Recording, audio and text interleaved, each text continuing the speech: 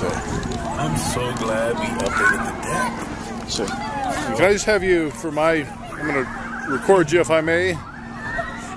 She's hiding. Okay.